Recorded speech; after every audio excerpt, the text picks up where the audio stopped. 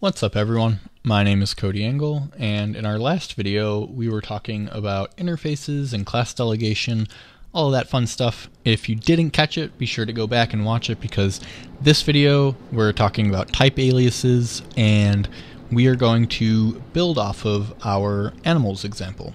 So one thing that we were doing with the animals um, is we had this food, we had talking, we had all sorts of things that were mapping to a string, which is fine. You know, there's nothing wrong with that, but uh, for me, it was a little bit annoying. It just because like it would be nicer to be able to say, you know, what what this was actually doing. I'm sorry as I kind of clean clean up the code a little bit as I go. What would be nice is if we could make use of the string itself but call it something else. And luckily, Kotlin allows us to do just that. It is this very simple keyword called type alias. And we could say type alias, so uh, movement equals string and then we can say can move will return movement instead. And similar thing, you know, type alias can talk. Well, talk equals string, and type alias food equals string, and then we just replace so talk, talk, food, food, and then you know we'll have to do a little bit of cleanup work now um, this would have been more ideal to do up front, but uh, essentially what we're saying though is anytime that we call something movement, talk, or food, allow us to call it that, but it should reference, it should point to the string instance, the string object. So as I go through and kind of, you know, clean this up a bit, uh, we can say, you know, our food, food there, fast mover, this should return a movement. Uh, again, should return a movement. This one, talk. We want that one to return a talk and talk. And then, you know, we can still run the code just to prove it. It still works. It still does exactly what what you would think it would do, but it just allows us to call it something else. Um, another one, you know, boolean here, true if it enjoyed it, false if it if it was disgusted, we could so say instead like type alias did enjoy equals boolean.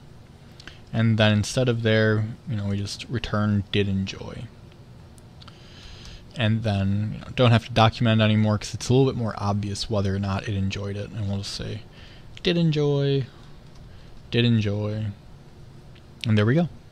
So there's not really too much else. I mean, this was a fairly simple example. Like, mo- you know, you probably aren't going to type alias to a string too often in, in, in the real world. You may very well want to type alias to a boolean if you just have something that has two different options, but you want to provide nicer documentation. So, you know, it, it reads a little bit nicer to say eat and then it'll return did enjoy.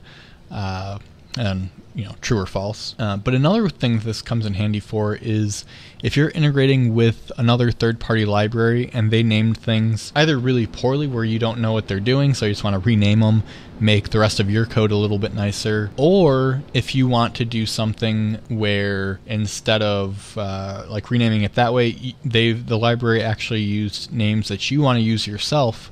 Uh, you can just type alias them to be something else. So like you could maybe say like I don't know if if there's some API response that you're getting back and you're using like a, a person API, but that that person itself is your own class you want to define. You can just say type alias person, so the the person like coming from say this this API will equal like API person. That's something that um, I've done in in the past on on projects and stuff like that, but yeah, type aliases really neat. Give you the ability to to rename something, um, either for documentation sake, for moving things around, or if you just need to use that name yourself and you just want to rename uh, the library that you're using um, for another reason.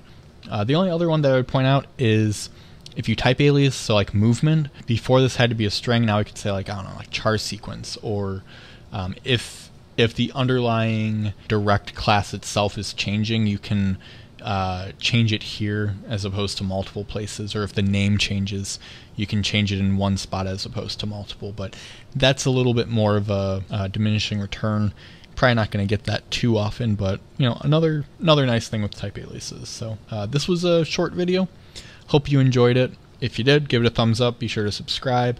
If you want to get more Kotlin videos, hit the notification bell. You'll get push notifications whenever I upload a new one. Currently trying to do about three a week. And otherwise, thank you so much for watching. See you in the next one.